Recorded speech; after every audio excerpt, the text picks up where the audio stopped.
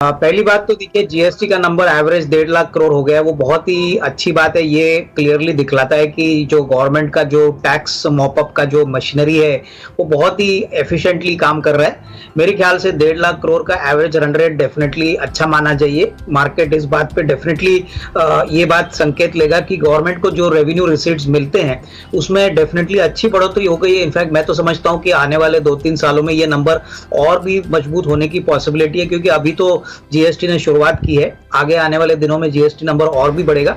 तो डेफिनेटली ये macro picture को और थोड़ा मज़बूत बनाता है अजय।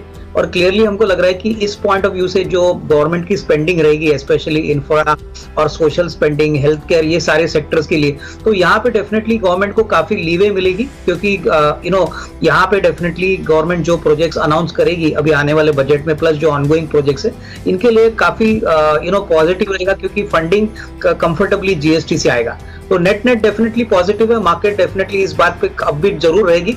और आने वाले दिनों में अभी जैसे सभी को पता है कि अभी मिडिल ऑफ़ जनवरी से प्री बजट का भी थोड़ा बहुत यू नो एक्सपेक्टेशन की रैली शुरू होगी।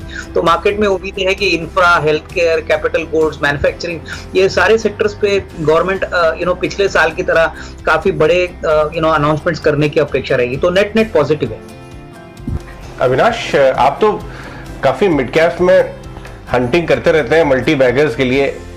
ये साल जो व्यू बन रहा है कि ये स्टॉक पिकर्स ईयर हो सकता है। और हमने देखा है कई बार, खैर, इस पर बड़ी बड़ी डिस्कशन किसी और दिन करेंगे कि क्यों एक बहुत डीप एंड से जब बाहर वापस आता है बाज़ार तो एक बार तो लार्ज कैप चलते हैं और इंडेक्स कस के चलता है। उसके बाद कुछ समय के लिए इंडेक्स छोटी रेंज में आ जाता है और mid cap stock small cap stocks ज़्यादा चलना उनका केस बनता है। जो इस साल लोगों का व्यू आ रहा है कि 2023 वो मिड कैप स्मॉल कैप और स्पेसिफिक लार्ज कैप्स का साल हो सकता है। आपके आ, आ, आपने कौन कौन से स्टॉक्स रिसर्च करके निकाले हैं न्यू ईयर्स के लिए?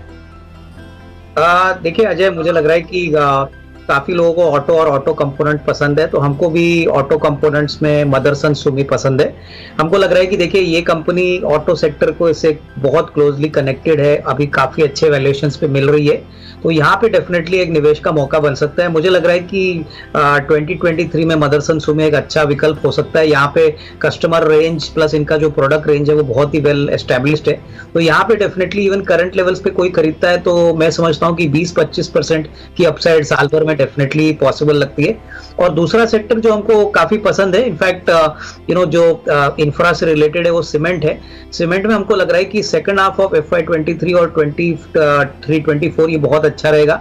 सप्लाई साइड प्रेशर थोड़े से कम हो रहे हैं। तो यहाँ पे हेडलबर्ग सीमेंट उसके बाद श्री दिग्विजय सीमेंट और ऑब्वियसली बड़े में अल्ट्राटेक सीमेंट ये तीनों सीमेंट कंपनीज़ में थोड़ा थोड़ा निवेश करने की गुंजाइश रहेगी। यहाँ पे डेफिनेटली एक अच्छा risk reward you know investors के लिए मिल सकता है। तो सीमेंट भी एक ऐसा सेक्टर है जो अभी यू नो पूरी तरह से यू नो री रेटिंग नहीं हुई है लेकिन यहाँ पे मौके अभी भी मिल रहे हैं तो यहाँ पे निवेश के मौके ज़रूर इन्वेस्टर्स को ढूँढने चाहिए। और राइट right, तो ये आपकी तरफ़ से रिकमेंडेशन रहेंगी इन्वेस्टमेंट आइडियाज़ है क्लियरली अविनाश की तरफ़ से। दूसरी तरफ़ यूएस में स्लो डाउन तो ये किस तरफ़ करवट बदलेगा ऊँट ये एक देखने वाली बात होगी और मैं बता दूँ कि भाव जो है मेटल स्टॉक्स के इंडिया में काफ़ी घट गए। हम्म। अगर आप टॉप से देखें तो आ, काफ़ी सारे स्टॉक्स में अनवाइंडिंग हो चुकी है। क्या यहाँ पे एक मीडियम टर्म ट्रेड बन सकता है? जिस हिसाब से डॉलर इंडेक्स मूव कर रही है अविनाश जेफरीज की रिपोर्ट पे नहीं बट आपका व्यू मैं जानना चाहूँगा मेटल स्टॉक्स पे इनफैक्ट अजय आपने सही कहा कि चाइना ने अभी आ, अपनी इकोनॉमी को रीओपन करने में काफ़ी बड़े अनाउंसमेंट्स किए और ये सबसे बड़ा थीम 2023 का हो सकता है क्योंकि मेटल मार्केट में काफ़ी समय से चाइना का इंतज़ार था। तो मेरे ख्याल से अगर ये फ्रक्टिफाई होता है चाइना मेटल मार्केट में एंटर करता है तो हम सभी जानते हैं कि मेटल के प्राइसेस में किस प्रकार की पॉजिटिविटी आ सकती है।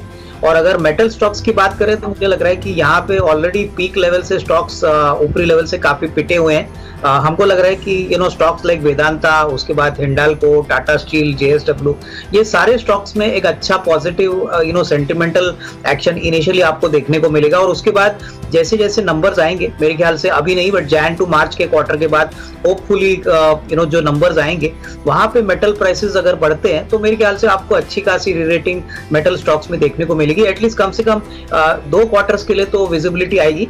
उसके बाद वापस हमको ग्लोबल यू नो हेडविंड्स और यू नो डेवलपमेंट्स वॉच करने पड़ेंगे। बट डेफिनेटली आपने सही कहा कि मेटल सेक्टर अंडर ओन्ड है और यहाँ पे एक डेफिनेटली एक रिस्क रिवॉर्ड बन सकता है थोड़े से हाई रिस्क इन्वेस्टर्स के लिए जो ये सेक्टर पे प्ले करना चाहते हैं।